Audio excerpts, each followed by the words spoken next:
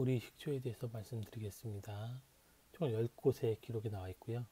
산림경제, 박해통고, 농정회요, 호사신서, 해동농서, 재민요술도 문헌에 나와 있습니다. 산림경제 홍만선 1700년대고요. 보리로 초를 만드는 법, 대맥초법 원문입니다. 번역문입니다.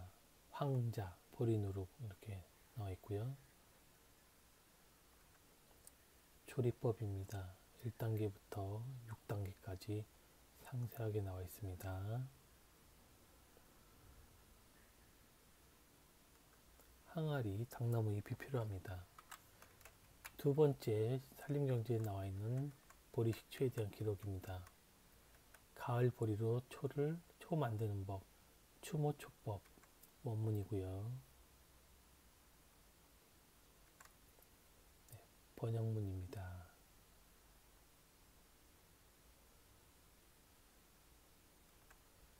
조리법입니다. 1단계부터 3단계까지 나와 있고요. 초를 빚을 때 창포 뿌리를 가늘게 썰어 깨끗이 말린 것을 같이 섞어 넣으면 좋다. 이렇게 되어 있습니다. 항아리, 유지, 기름종이, 푸른색 보자기, 쑥이 필요합니다. 박해 통고, 저자미상 18세기 이후고요. 보리식초 만드는 법, 대맥초법, 원문입니다. 번역문입니다. 보리 두 마리치에서 이렇게 해서 14일이 지나면 익는다 이렇게 되어 있고요. 조리법 보리 누룩 빚기 식초 빚기 보리 누룩은 3단계 식초 빚기 3단계 이렇게 되어 있고요. 14일이 지나면 이거 식초가 완성된다 이렇게 되어 있습니다. 항아리가 필요하고요. 농정회요 최한기 1830년경 원문입니다.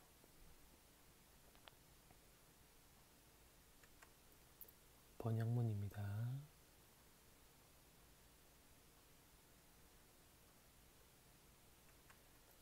조리법입니다. 보리 누룩 만드는 법 4단계, 보리 식초 만드는 법 4단계 이렇게 되어 있고요.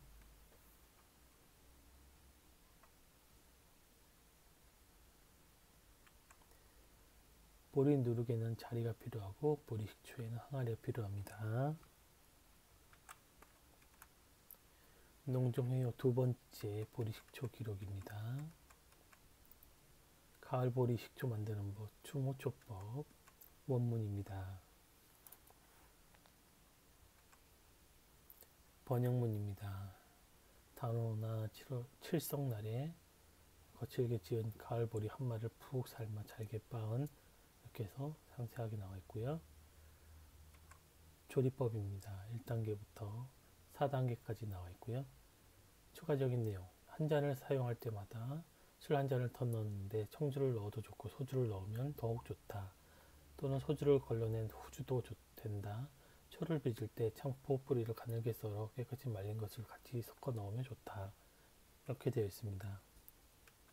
기름 종이 항아리, 푸른색 보자기가 필요합니다. 고사신서 서명 음, 1771년이고요. 원문입니다. 번역문입니다. 항자는 누른 곰팡이가 난 보리 누룩을 말합니다. 조리법입니다. 1단계부터 11단계까지 아주 상세하게 나와 있습니다.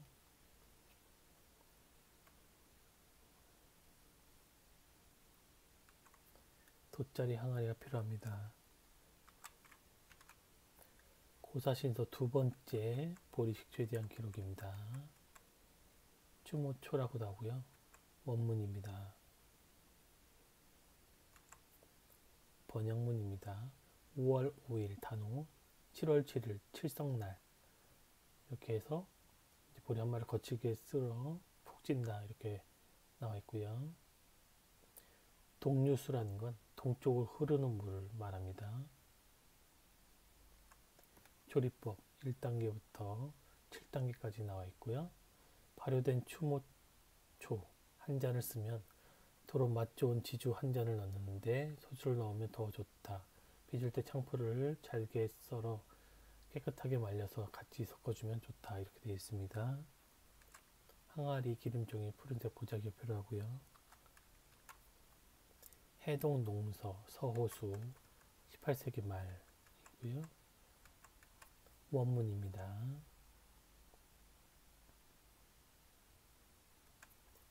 번역문입니다. 보리 해서 거가 표령에 이렇게 또 기록이 되어 있고요. 조리법 1단계부터 9단계까지 상세하게 나와 있습니다. 식초를 담근 지 21일이면 익는다 이렇게 되어 있습니다. 돗자리 항아리가 필요합니다. 여기에 빠졌는데 기름종이겠죠.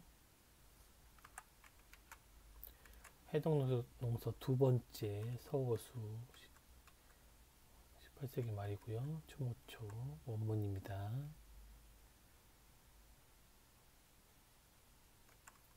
번역문입니다. 고사 차료 이렇게 되어 있고요. 5월 5일, 7월 7일에 이제 찐다 시작한 거고 조리법입니다. 1단계부터 6단계까지 되어 있습니다. 발효된 추모초 한 잔을 떠서 사용하면 다시 맛 좋은 지주 한 잔을 넣는데 소주를 넣으면 더 좋다. 빚을 때 말린 창포 조각을 잘게 썰어 깨끗하게 말려서 같이 섞어주면 좋다. 이렇게 되어 있습니다. 기름종이 항아리, 쑥으로 엮은 푸른색 보자기가 필요합니다. 재민 요술 가사협 1500년대고요. 보리식초 대맥초법 원문입니다. 잠시만요.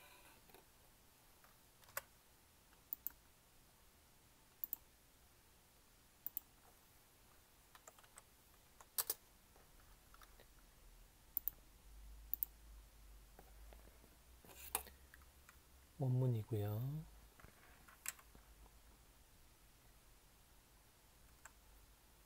번역문입니다. 글자가 참 많죠. 큰 화면에서 어, 좀 참고하시면 되겠습니다. 한 페이지에 한 화면에 보여주려고 하니까 글자가 작아졌는데요. 그 해상도로 촬영하기 때문에 40인치든 어, 뭐큰 화면 TV에서도 선명하게 보일 겁니다. 조리법 1단계부터 또 이렇게 8단계까지 나와 있습니다. 단맛이 나면 된다. 만약 맛있을 때는 다시 좁쌀밥 두, 이, 두세 대를 넣어준다. 함량은 침착해서, 짐작해서 더 넣거나 덜 넣는다.